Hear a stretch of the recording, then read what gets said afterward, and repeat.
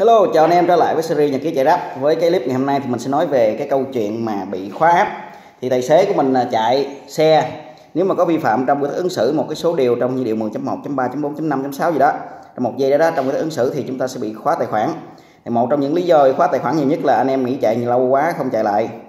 Cái hồi mà mình à, đi học à, tập huấn trong lớp á, cái bên người hướng dẫn họ có nói rằng nếu mà trong vòng 60 ngày chúng ta không hoàn thành đủ 5 cuốc xe bất kể là cuốc xe gì food address by COD hay hoặc là giao hàng công ty, thì chúng ta đủ 5 cuốc xe là được. Hoặc trong vòng một tháng ta phát sinh một cuốc thì app chúng ta được duy trì. Sau khi mà bị khóa tài khoản xong thì mình bắt buộc phải quay lên văn phòng, mình à, xách theo giấy tờ để mình mở lại tài khoản. Tuy nhiên nếu mà cái thời gian hoạt động của các bạn mà không đủ cái tiêu chí thì các bạn cũng sẽ bị khóa vĩnh viễn và chúng ta sẽ đi qua công ty khác chúng ta chạy, chỉ thế thôi. Cái lý do thứ hai là chúng ta sẽ gian lận cuốc xe. Gian lận đây là, gian lận cái vụ gì? Các bạn có biết cái ờ, uh, rap nào đó? Nếu mà chúng ta có anh hàng xóm mà ngày nào anh ta cũng đi trên một con đường cùng với chúng ta mà bữa nào anh ta cũng xài rap nào để đặt thì các bạn đặt được ba lần lần thứ tư thì các bạn bị khóa tài khoản. Đó là gian lận cút xe đầu tiên. Cái chuyện thứ hai là gian lận cút xe giờ bị xui. Xui là thế này khách nó đặt xe các bạn chạy từ từ đâu bây giờ? Từ Bixi miền Đông đi 168 Tô Yến Thành đặt tới ờ, cầu ờ, Quang Trung 2 đường Quang Trung nhưng mà nó không biết nó cao hứng sau đó nó mới tới uh, ngã năm uh, ngã sáu quả dốc thôi là nó xuống rồi. Mà các bạn uh, lỡ tay các bạn chơi các bạn bấm luôn cái hoàn thành cuốc xe. Ok một lần khóa cái tài khoản các bạn. Một hoặc ba hôm. Lần hai khóa lâu hơn lần. Một. Và lần thứ ba thì khóa luôn sắp giấy tờ lên thanh toán. Còn một cái chuyện về gian lận cuốc xe nữa là vậy. Khách đó đạn các bạn các bạn chạy lại. Các bạn thấy cái chuyến xe này nhiều tiền quá chạy từ ờ, Bình Chánh mà đi tới ờ, đại học Đông Lâm chẳng hạn thì cũng tầm 70 ngàn rồi. Trừ 27% phí thì hơi cao. Cái mình ờ, khách tới anh chị ơi bây giờ anh chị hủy cuốc xe giùm em đi. À, em chạy đây em trừ lại phần trăm hay nhiêu phần trăm đó. Rồi xong. Một lần ha. Thêm hai lần nữa là ba lần. Các bạn làm y chang vậy lần thứ tư các bạn sẽ bị khóa áp. Đó là cái chuyện gian lận cuốc xe. Cái chuyện tiếp theo là chúng ta không mua đồng phục cái áo trên mình quan mặt nè, sau 6 tháng hoặc là 9 tháng gì đó mà cũ quá rồi, không cần biết các bạn có mặt hay không, có cũ hay không chuyện đó chả quan tâm. Nó chỉ biết là theo ngày tháng các bạn mà không lên văn phòng mua đồng phục mới. Phải mua trong văn phòng nha. Có nghĩa là phải mua ở bên Grab. Thì ở cái Grab mới công nhận là các bạn đã có mua đồng phục để phục vụ cho công việc. Có thể là mua cái áo là mua cái nón là mua cái túi food chẳng hạn. Đó, thì các bạn mua đồng phục thì nó sẽ tiếp tục cho các bạn chạy, còn không thì nó sẽ khóa áp với lý do không à, đầy đủ đồng phục theo quy định chỉ đơn giản đồ cũ thôi nó cũng không chịu.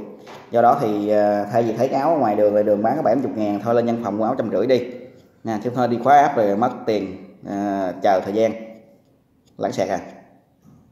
Một lý do tiếp theo nữa là lý do gặp khách tàu lao. Khách tàu lao này thì anh em à, ráp kha gặp nhiều hơn ví dụ như đi ờ, xe đi chơi rồi đâu đó làm rớt cái bóp tiền xứ nào chả biết nữa leo xe đã leo xuống nói báo tổng đài. Anh chị tổng đài ơi em làm rớt cái bóp trên xe của anh nào đó. Hồi ơi biết có rớt xe mình không nữa báo khơi khơi. Thế là bên ờ, tổng đài gọi lại hỏi mà chúng ta trả lời mà không khéo là bị khóa áp phải lên nhân phòng. Đó. Còn đối với anh em tài xế ờ, bay thì như thế này. À, đa số là tài xế chạy ráp là mấy anh con trai mấy chú đôi khi gặp à, mấy anh nhưng mà không phải mấy anh. Đó khổ vậy đó. Rồi cái nó ngồi gần mình mà cái yên xe mình thì lỡ dù các bạn có chạy chiếc rim đi chăng nữa thì nó cũng ráng nó lấn sát các bạn à. Rồi cũng uh, tay qua chân lại rồi cái hồi xuống xe rồi không vừa lòng. Đánh giá cho mày một sao gọi điện thoại báo ờ em để quên đồ gì đó trên xe. Đó đó là cái chuyện mà lãng xẹt tiếp theo. Phải chiều mấy chị em gì cũng hay quá ha. Rồi tiếp theo nhắc tới mấy chị em nè có những cái cút xe chỉ có 13.000 đồng thôi ngày trước là 12 sau này có phí nền tảng 1.000 là ngàn thứ 13 mấy chị em thì thường đi không khoảng cách xa bạn đi từ một cái khu hẻm nào đó đến một cái nhà nghỉ một cái nhà trọ khách sạn đó thôi 12 ngàn. Rồi uh, xuống xe trả giá 10 ngàn 10 ngàn anh lấy không lỗ luôn tiền xe rồi chưa kể tiền điện thoại của mình nữa. Rồi xong mình cự cãi qua lại mình đòi lấy đúng giá lát cũng cho một sao hay là cũng uh, vô phần mà đánh giá tài xế, thả ăn câu gì, tài xế có thái độ phục vụ không tốt gì đó, rồi mất tiền lãng xẹt. Đó là những cái vị khách kém sang mà chúng ta rất thường hay gặp và gặp rất nhiều nha. Còn những vị khách sang thì lâu lâu có thôi, chắc cũng khoảng 10 20 phần trăm gì đó. Còn lại là đa phần là khách gì đâu không à? Thiệt tình là khách gì đâu không luôn á. Tiếp theo, về cái phần à, giao hàng.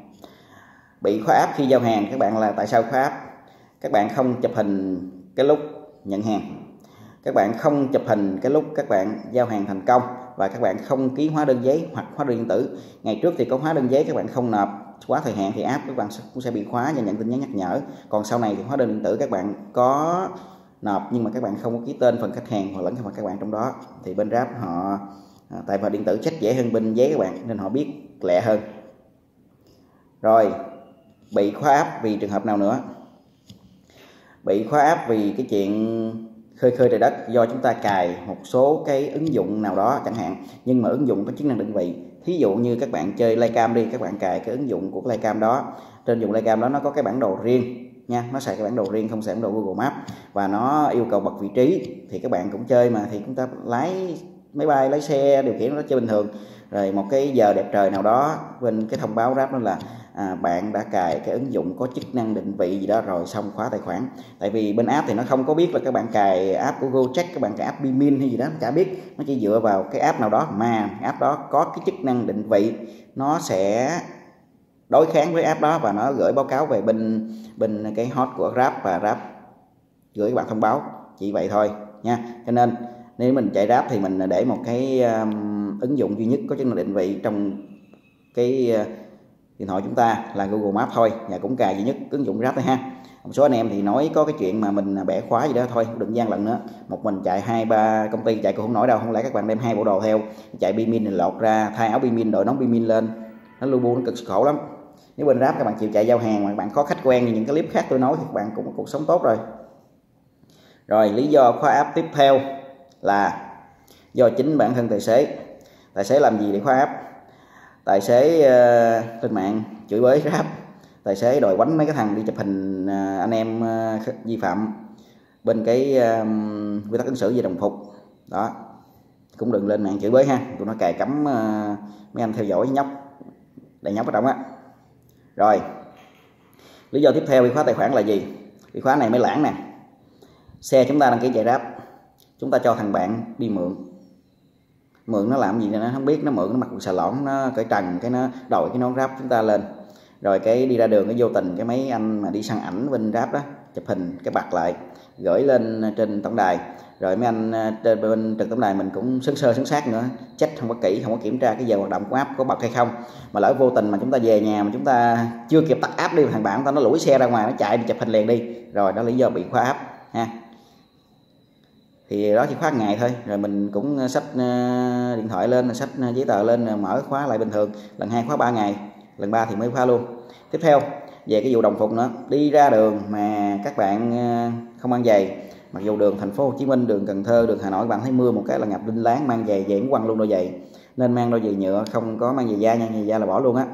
Rồi chúng ta không mặc áo khoác hoặc là không mặc áo thun của ráp hoặc là chúng ta mặc cái áo ráp chạy áp ráp mà chúng ta đội cái nón của Gojek đưa khách đội nón của Bimin đó là cũng trớt luôn. Thì có một lần có một anh bạn của tôi xài cái nón uh, full face nón nón đầy nhóc cái mặt luôn như mấy anh đua xe trong ờ, uh, tivi vậy đó.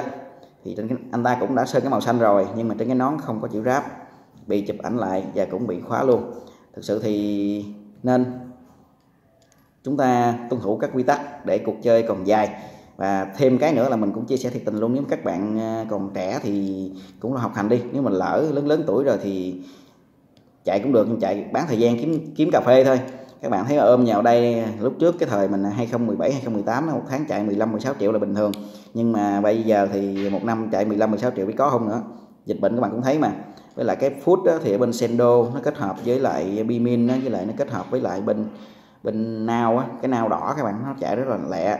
Còn bên ráp của mình thuận lợi cái là có Express nha.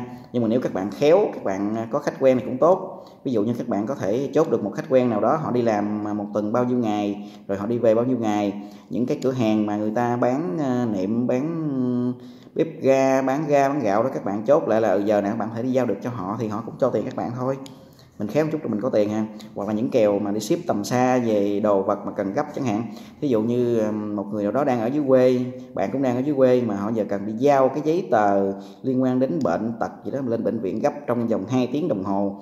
Ví dụ như từ Tân An đi tới bệnh viện chợ rẫy đi thì các bạn lên xe nhận cút đó trăm rưỡi chục ngàn là ngon lành. Ngon lành cành đào luôn.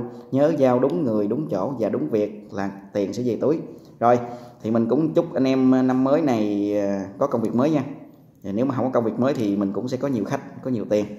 Rồi nhớ uh, lâu lâu nếu có gặp tôi ở Sài Gòn thì ờ, cà phê pháo chơi vui. Rồi tạm biệt anh em nha. Hẹn gặp lại clip sau.